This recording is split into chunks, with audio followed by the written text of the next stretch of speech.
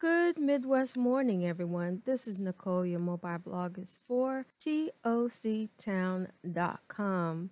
Well, I hope you're doing much better in the latter half of 2020 than in the beginning. We're just passing uh, COVID 19, finally reducing the percentages of infection, but we are still not out of the woods. So, I hope you are staying hydrated and just reinforcing your immune system with a lot of fresh vegetables as well as fruits. I do have my hydrated for the holiday tea recipe right here next to me. So if you see, hear me for a second take a sip, then excuse me as I make sure my throat is not scratchy while I'm doing my podcast. By the way, if you want a copy of the recipe, you can always go to patreon.com forward slash TOC Town and download the recipe for a mere $10, which supports our corporate community and culture and the podcast that we produce here in TOCtown.com. Okay, let's dive into the meat of the matter for the day. To start off, I wanted to go ahead and do a planner tag for my second episode of 2020. And in that episode, I wanted to revisit a lot of the planner supplies and stationery things that I liked, I disliked, or just decided to change out for the new season and time. I do have a new five year journal post ready for you in the link below. If you're looking to journal your journey or just simply start writing pen to paper and taking those thoughts out of your head and leaving them on the page, only for you to come back and review and to change, challenge, or leave it the same. Okay. This is an extended version of the first planner tag, which I mentioned, I think I did in 2016. So I haven't looked at the video yet. So I'm pretty sure I remember most of my answers and some of them have changed, but I want to see and compare 2016 leap year answers with 2020 leap year. And of course, if you want to watch the video, I will link that down below as well. Okay. Question number one What planner are you using? Currently, I'm using the MAMBI planner, which is me and my big ideas, along with my Day Designer Mini a uh, Daily.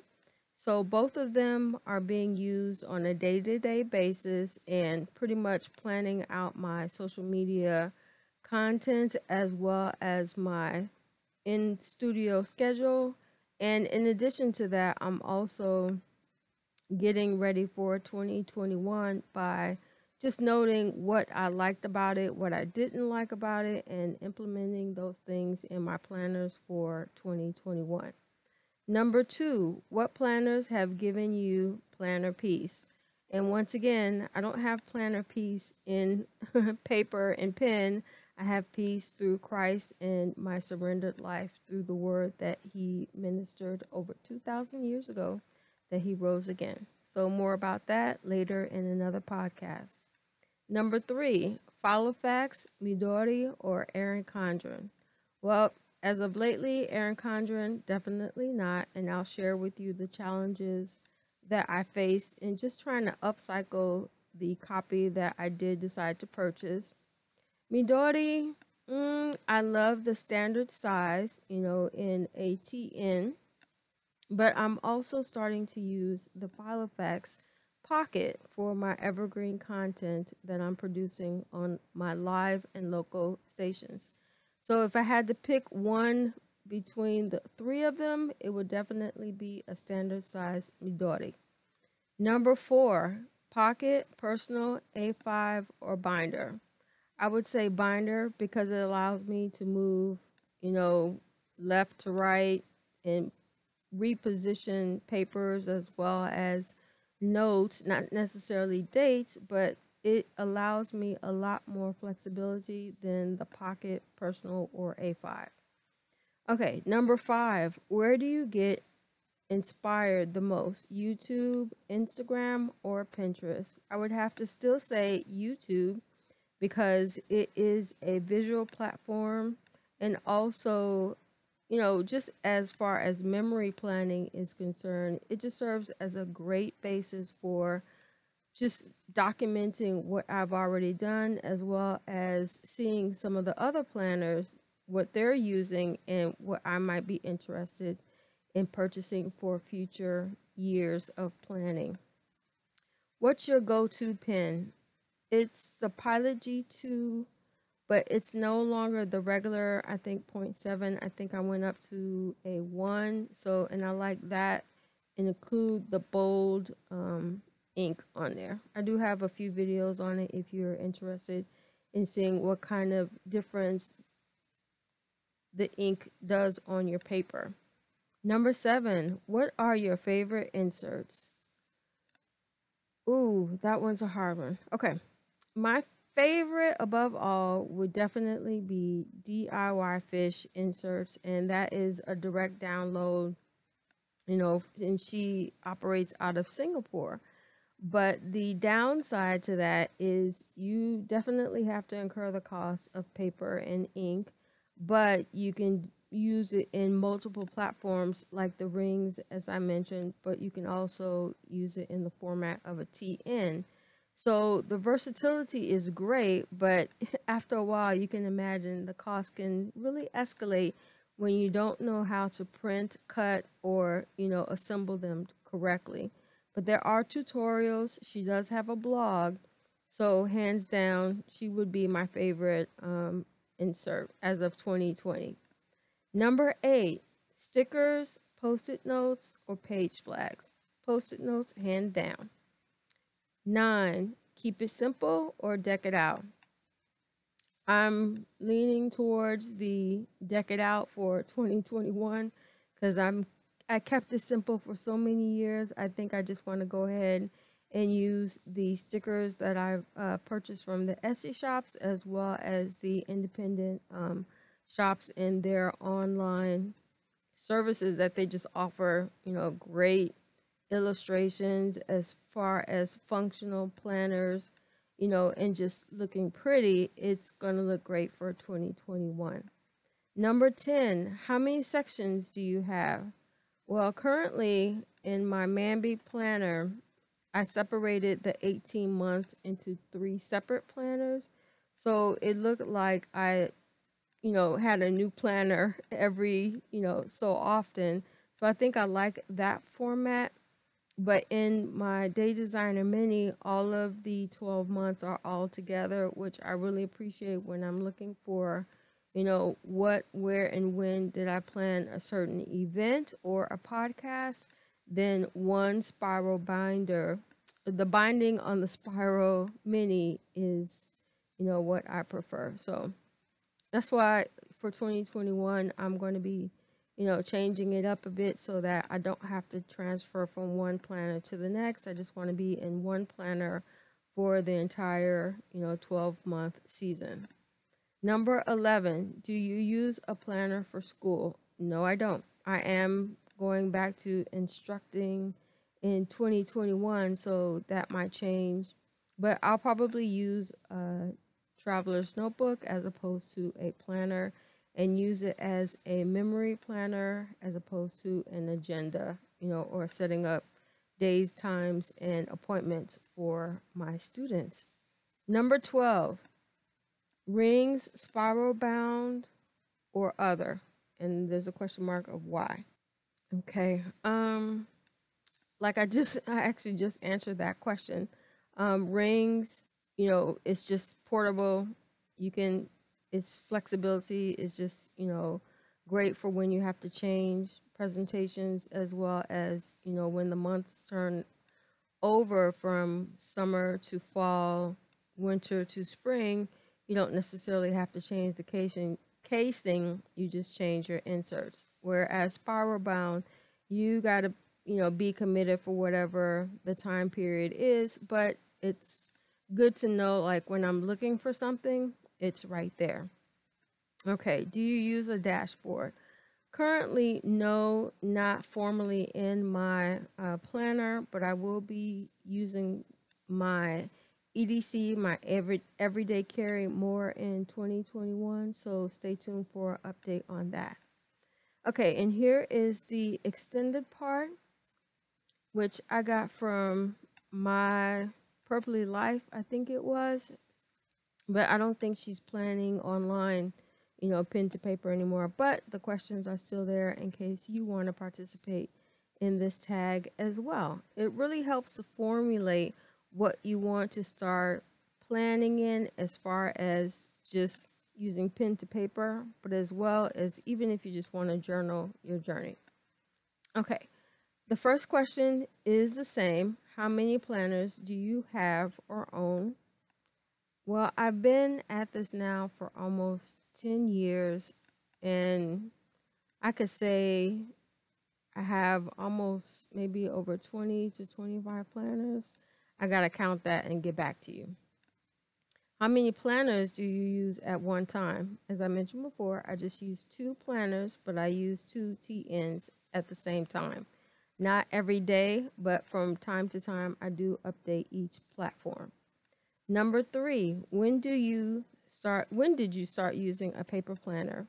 Well, I mentioned uh, before that I started using in college. I had to take a summer program you know, for in order to proceed to my freshman year. But just by starting this channel, I felt like I needed a separate pen to paper planner so I can map out, you know, the when, the what, the how, the am I going to upload, edit, you know, and also revise my future uh, strategies.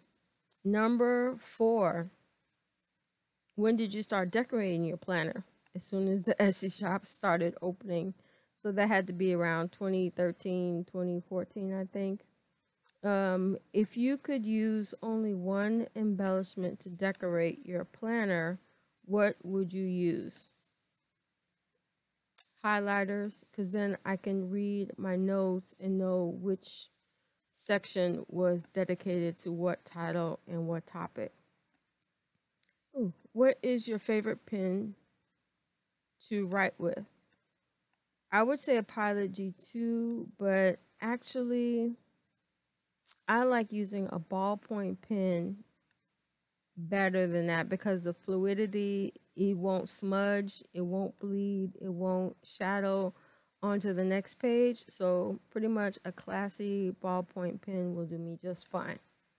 Favorite place to shop for your planner goodies can also be your favorite Etsy seller.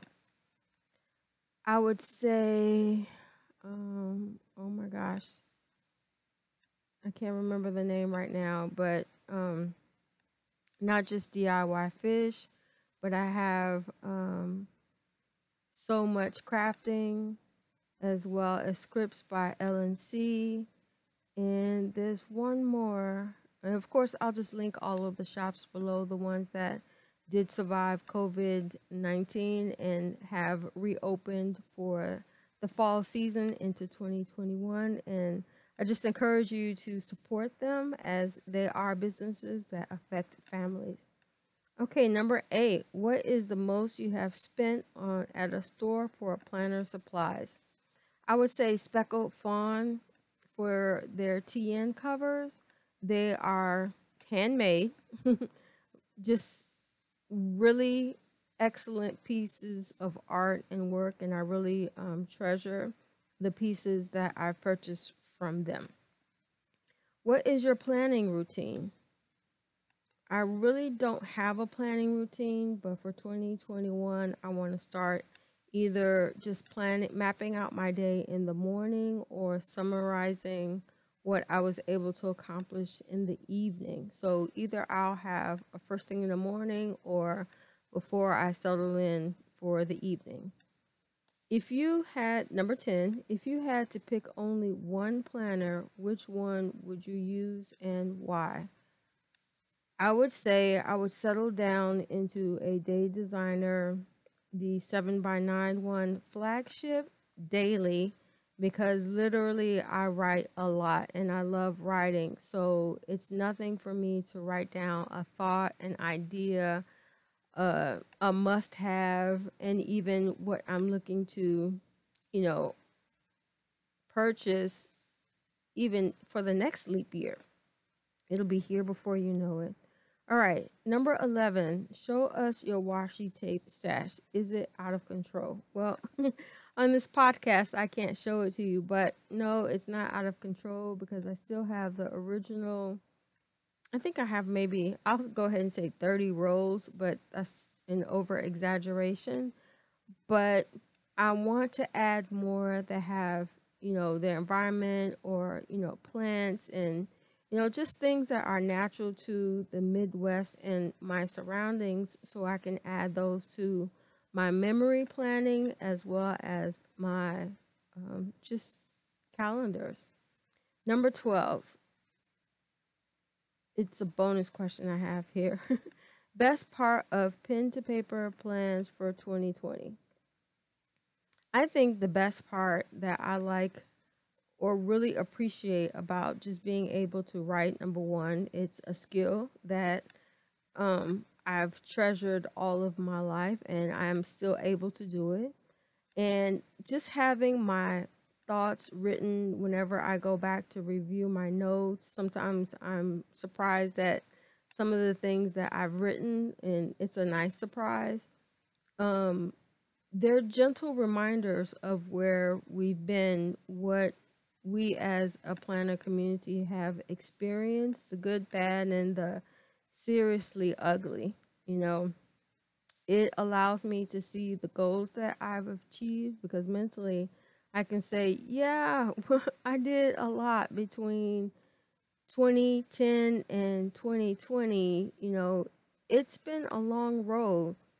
And a lot of the things that I had to learn, I had to learn by myself, you know, researching it, curating the content, um, pretty much testing a lot of items, sampling some companies, and being disappointed in what they had to produce and offer. And having had paid for it, you know, was seriously disappointed that even in the reproduction of whatever item that they produced, the quality wasn't necessarily better the second time around. Then I can focus on, you know, what challenges are awaiting me, you know, so binging and watching other YouTubers, you know, share with you what they like about their planner routine, their TNs, as well as, you know, their studio environment that they're able to create based on what they've planned out, it's really, you know, good inspiration because you see a lot of things that you would not have necessarily thought about, especially just doing a planner tag. It never existed before 2013. You know, so if you feel like you want to go ahead and answer these 25 questions, you know, for yourself and see, not compare to other planners, but as far as your journey, your strengths, your weaknesses, your challenges are concerned. You know, where can you improve to have a more peaceful understanding of your purpose in life? You know, and this is the final minute where I'm going to start wrapping up this second episode of the podcast. I hope you enjoyed this journey. I hope you had time to actually grab something to drink and to meditate on my answers as well as the questions. If you do decide to participate, please leave me a link down below and I will be sure to comment, a like, and maybe even subscribe to your podcast or your social media channel. I'm Nicole. Your mobile blog is for toctown.com. Until we meet online or face to face, be blessed.